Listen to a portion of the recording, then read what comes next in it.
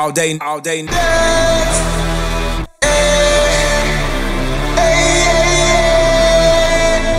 All day, all day.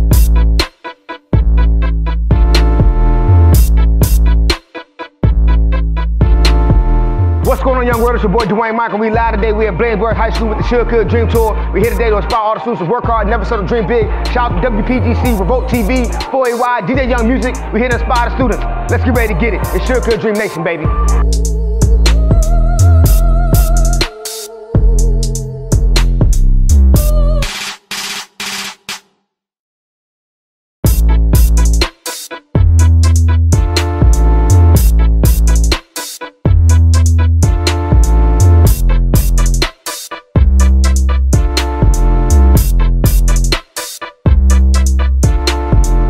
1.2 million students drop out of high school each and every year. That's one student every 26 seconds. That's 7,000 students a day. Don't be that student. Everything in life is a domino effect.